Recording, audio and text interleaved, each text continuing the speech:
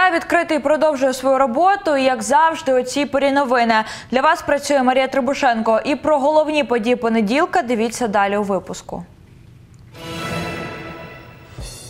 Понад 2,5 тонни кисню щодня. Стільки витрачають на хворих у ковідному відділенні лікарні імені Мечникова. Зараз у реанімації 24 пацієнти. Дім для дітей сиріт у селі Петрівка Синельниківського району зводять малий груповий будинок.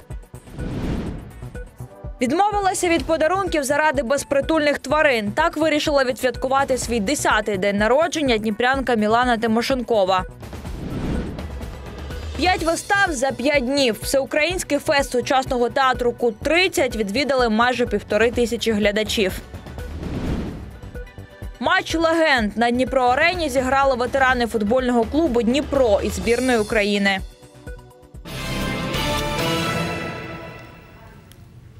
І про це та інше більш детально. Коронавірус стрімко шириться Дніпропетровщиною. Щодня до госпітальних баз доправляють десятки важких хворих, які одразу потрапляють на апарати штучної вентиляції легень. Подекуди до медзакладів госпіталізують цілими родинами. За попередню добу в області зареєстрували 393 нові випадки COVID-19. Про це повідомили в обласному департаменті охорони здоров'я. Найбільше хворих у Дніпрі, Нікополі, Кривому Розі та П'ятихатському районі.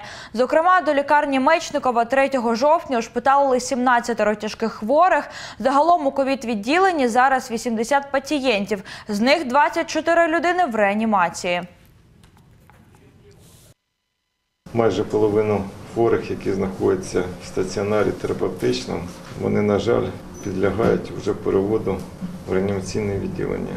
І то, що в нас за останню добу розтрачено 2,5 тонни кисню, такого не було в минулій хвилі епідемії.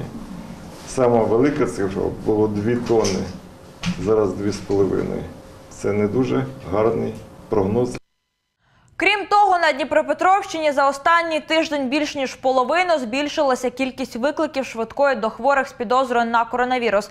Пік припав на останній день вересня. Екстрена служба здійснила 176 виїздів, 141 хворого ушпиталили. Лікарі кажуть, якби люди зверталися по допомогу вчасно, серйозних наслідків і насамперед летальних випадків було б значно менше. Безумовно, важких форм більше, і це підтверджує відсоток шпиталізації до таких пацієнтів. Сьогодні він складає 82,8% від усіх пацієнтів, до кого ми виїздимо, і де маємо підозру, що це буде COVID-19 або вже є позитивний ПРЛ-тест. Тобто шпиталізуємо у стану тяжкості ближче до тяжких. У Дніпрі капітально ремонтують дощовий колектор. В мерії кажуть, це має позбавити середмістя від підтоплень після дощів. Роботи розпочали на початку вересня на перехресті Січеславської набережної та вулиці Коцюбинського. Що вже зроблено протягом місяця, бачила знімальна група відкритого.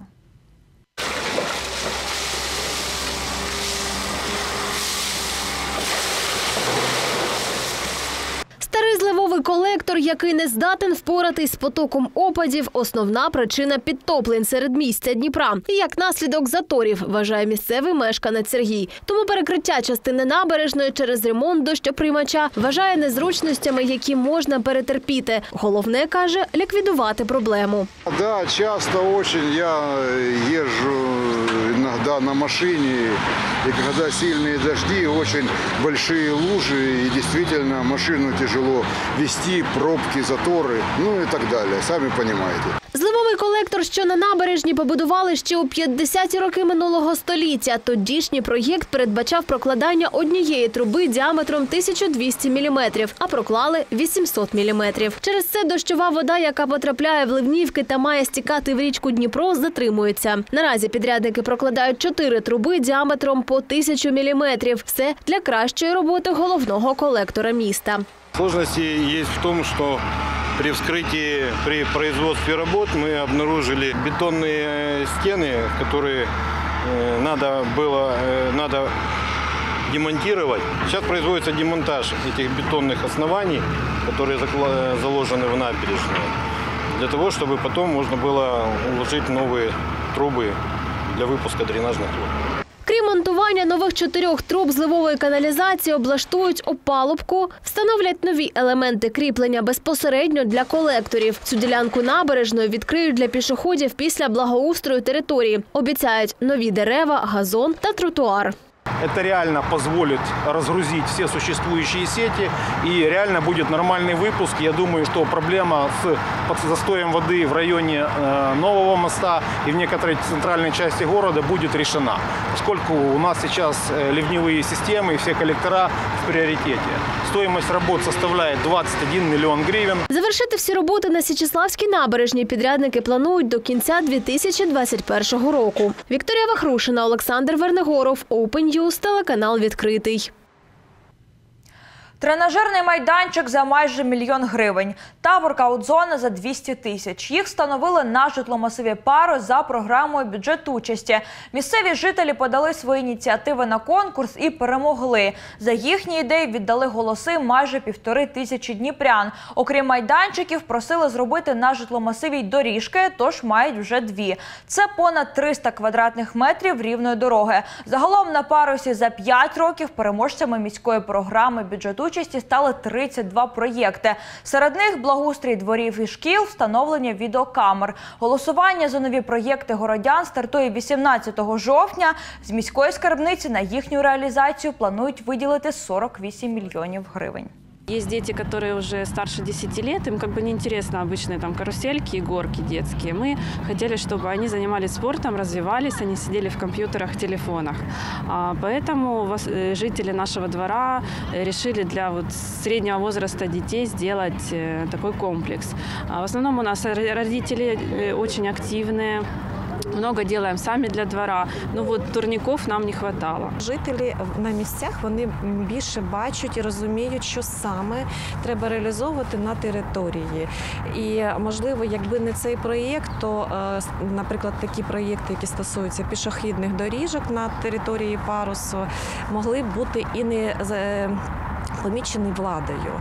А якраз маючи такий от механізм прямої демократії, люди можуть диктувати владі, яким чином реалізовувати частину міського бюджету, які саме проєкти треба впроваджувати е, в їх дворах на території, де вони живуть. Новий малий груповий будинок для дітей-сиріт. Такий зводять у Петрівці Снельниківського району. Поки що підрядники працюють над фундаментом майбутньої оселі, де житимуть хлопчики і дівчатка Миколаївської громади.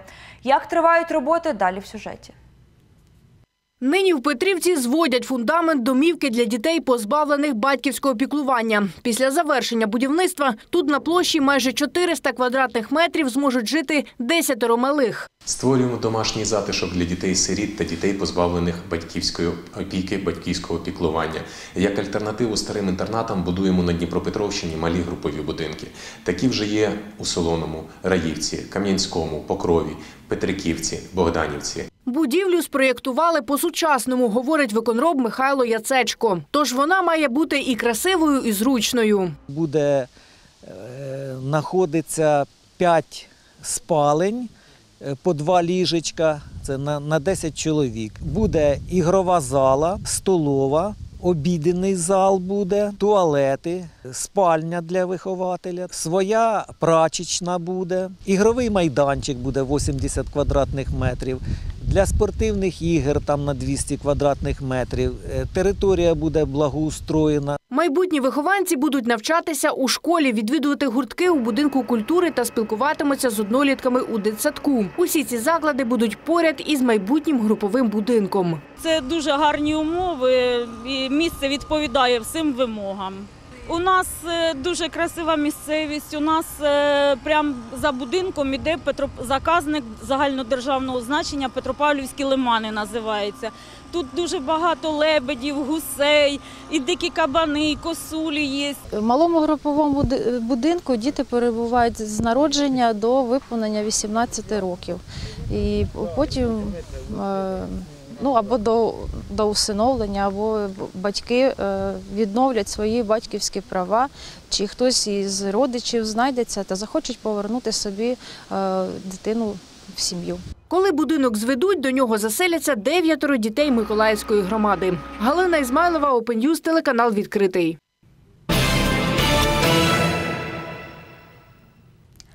Бюджет зазнав збитків на понад 7 мільйонів гривень. СБУ Дніпропетровській області викрила масштабну корупційну схему. Поборотці підозрюють керівника одного з комунальних підприємств Кривого Рогу.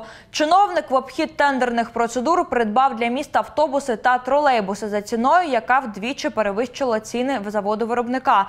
До розкрадання бюджетних коштів він залучив підконтрольну комерційну структуру. Як встановили слідчі, громадський транспорт закупило не комунальне підприємство, а фірма-посередник. У такий спосіб комунальники змогли використовувати придбаний міський транспорт на умовах лізингу. Така оборудка завдала міському бюджету збитків на майже 7,3 мільйонів гривень. Під час слідчих дій правоохоронці виявили документацію, яка підтверджує факти протиправної діяльності. Наразі директору комунального підприємства повідомлено про підозру за частиною 2 статті 367 службова недбалість Кримінального кодексу України.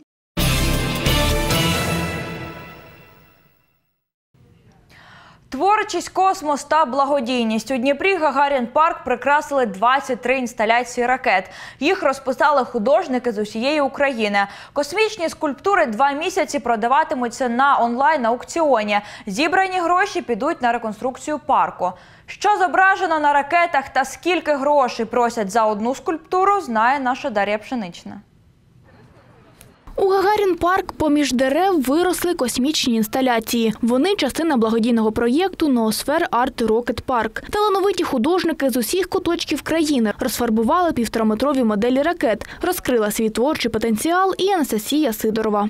В минулому році, у листопаді, я дізналася про цей конкурс. Е, У лютому подала свій ескіз на цей конкурс, і через е, декілька місяців мені сказали, що е, мій ескіз вибрано. Була заявлена тема українських традицій та космосу, тому я вирішила поєднати е, українську дівочу красу і космос. Вийшла ось така Ukrainian Cyber Girl. Тиждень у пошуках ідеї, місяць щоденної роботи та десяток літрів фарби. І хоча зараз Анастасія результатом задоволена, ділиться без труднощів не обійшлося. Найскладніше було виконати і перемалювати планети сонячної системи. Е, Звісно, е, землю я е, ретельно промальовувала. Кожна зірочка промальована вручну. А зверху тут е, є покриття люмінесцентною фарбою, це світиться. Зірочки теж світяться. Зі своєю роботою на арт-виставці Дніпрянка Анжеліка для ракети дівчина обрала поєднання пастельних відтінків, проте акцент зробила на центральному зображенні. Идея создания ракеты – это э, уничтожение памятников архитектуры и скульптуры в нашей стране. Э, мне очень близка эта тема социальная, и я взяла за, вдохнове- э, за источник вдохновения скульптуру известного художника э, Эрнеста Коткова, э, который э, в свое время создал скульптуру «Днепровская волна». Ну, я взяла с этой скульптуры, скажем так, стилизировала голубей как символ мира, с- символ полета, и изобразила на своей ракете. Залишити частинку творчості та креативу на арт-ракетах міг кожен. Для цього потрібно було долучитися до онлайн-конкурсу та створити власний ескіз макету. Він мав уособлювати космічну, наукову, інженерну або соціально важливу тему. Серед півтисячі бажаючих обрали зо два десятки найкращих. До листопада їхні ракети прикрашатимуть Гагарін парк. Дніпро це е, космічна столиця. Ми е, віримо в те, що в неї велике майбутнє в цьому напрямку. Ми привертаємо увагу до розвитку е, космічної та ракетобудівної галузі в нашій країні. І тому створили скульп- скульптури саме у вигляді ракет. Усі експонати виставлені на благодійний аукціон. Стартова ціна кожної ракети 10 тисяч гривень. Зібрані гроші підуть на реконструкцію парка та облаштування спортивно-ігрового майданчика. Чи купуватиме космічні експонати, дніпрянин Сергій ще не визначився. Та виставкою задоволений. Я специально пришел посмотреть, и действительно это настолько разное, настолько интересное видение молодых художников будущего, э, и, и космоса, и искусства, и они все по-разному видят этот мир. Это настолько прекрасно. Аукціон вже розпочато. Деталі можна дізнатися на сайті Noosphere Art Rocket Park. Ракети з родзинкою прикрашатимуть Гагарін парк до початку грудня. Дар'я Пшенична, Сергій Макаров, Open News, телеканал відкритий. П'ять днів, п'ять вистав. Всеукраїнський фестиваль сучасного театру Кут-30 об'єднав акторів із Дніпра, Сєвєродонецька, Одеси та Києва. Фест на сцені найстарішого Дніпровського театру служителі Мельпомени з різних куточків країни презентували свої кращі постановки. Вистави в академічному театрі драми та комедії відвідали майже півтори тисячі глядачів. Організатори сподіваються, кут житиме і це лише початок. Як закривали перший в Україні фестиваль сучасного театру, бачила наша Лада Донець.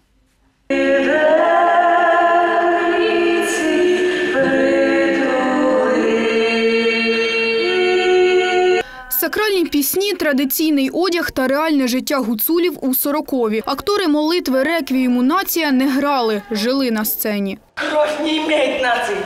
Только не просто объяснить тем, кто говорит ненавистью друг другу. Говорила когда-то мне мама в далеком Омске. Если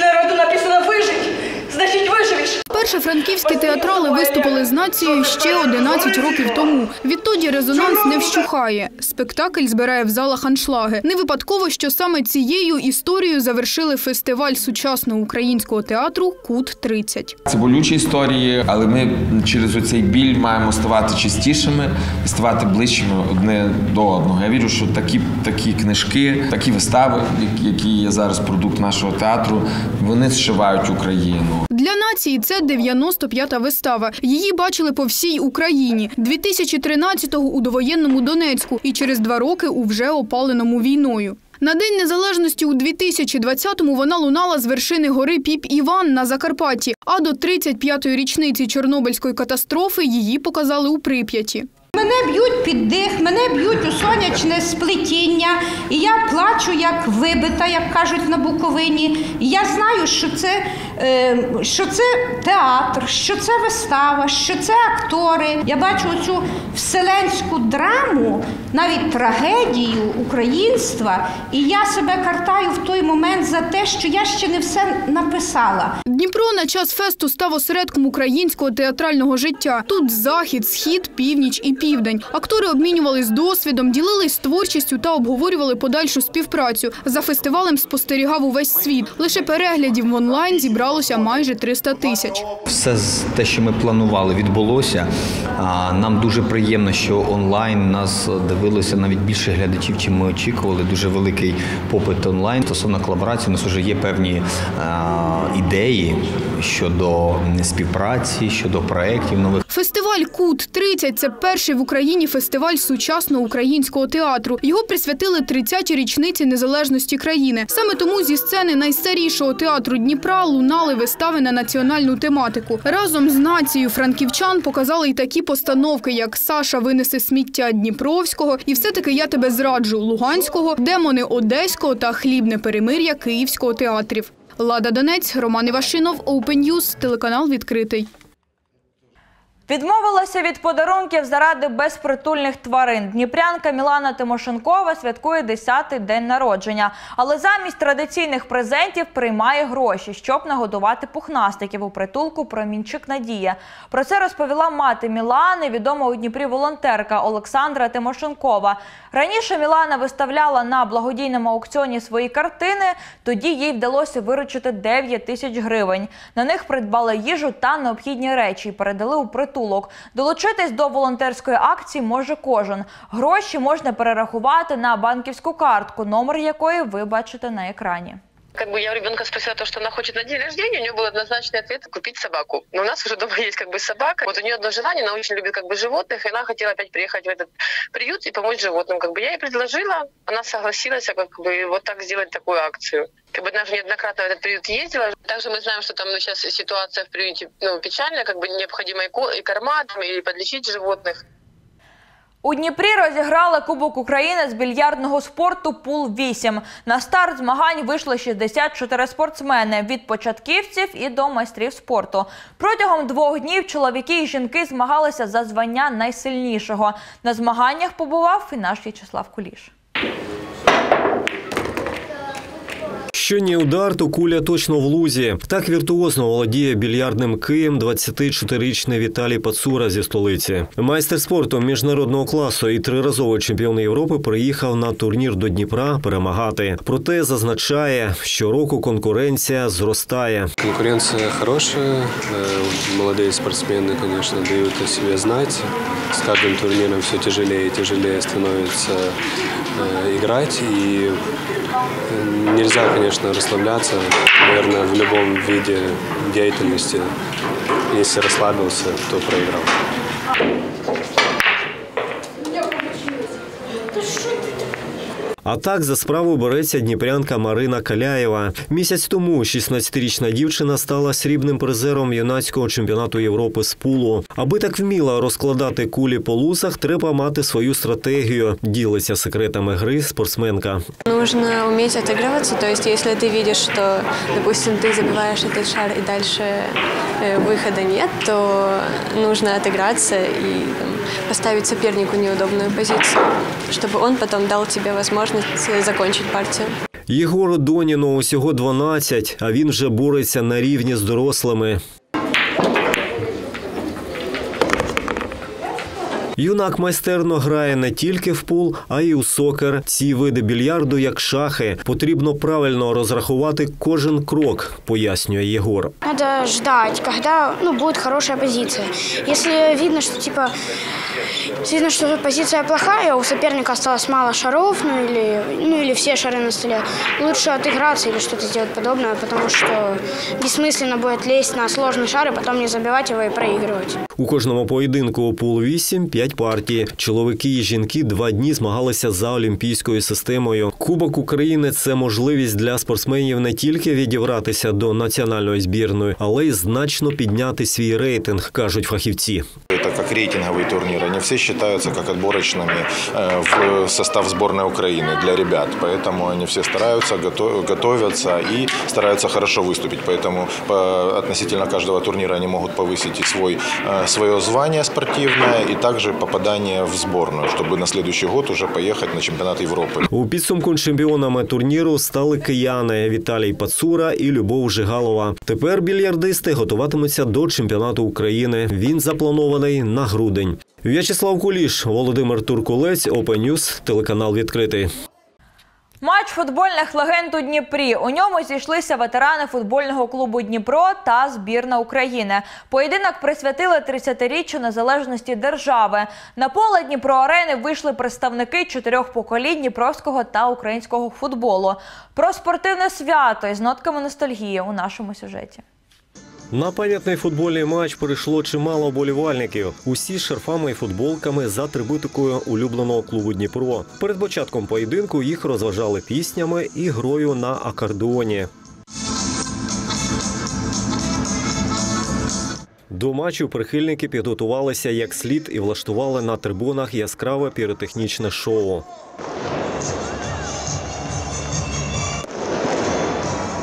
А далі на зелений газон ступили легенди Дніпропетровського українського і радянського футболу Олег Таран, Олег Протасов, Анатолій Дем'яненко, Олександр Заваров та інші футбольні зірки. Очень хорошие эмоции. Вспоминаешь сразу, прокручиваешь ту жизнь, которую прошел в футболе. Поэтому эмоции захлестывают. Это вспоминаешь. Все, сразу перед глазами все, игры, все игры, которые играл. Понятно, скоростя не те, все понятно. Но мысль футбольная, все показывается, все это очень здорово. Приятно, что пришел с такой болельщикой, поэтому много встретились со своими бывшими коллегами, с, с ребятами, поэтому очень приятно. Плана никаких, просто чтобы вы были, получили море удовольствия зрители и футболисты. Матч посвящен 30-летию независимости Украины, моей родной страны.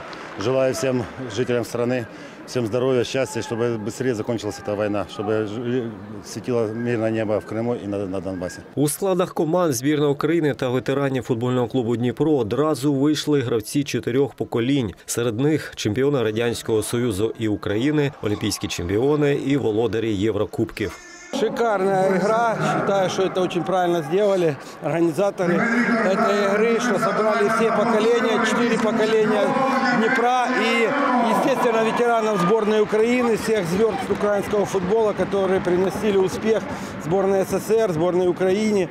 Цього дня оболівальники футболу наче повернулися у минуле. Гра колишніх футбольних кумирів викликала ностальгічні спогади і принесла купу позитивних вражень.